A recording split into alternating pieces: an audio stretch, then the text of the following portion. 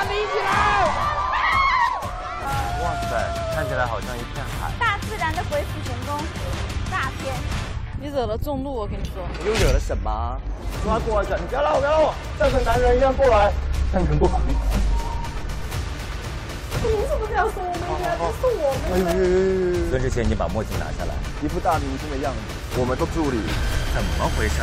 这旅游团要散呢。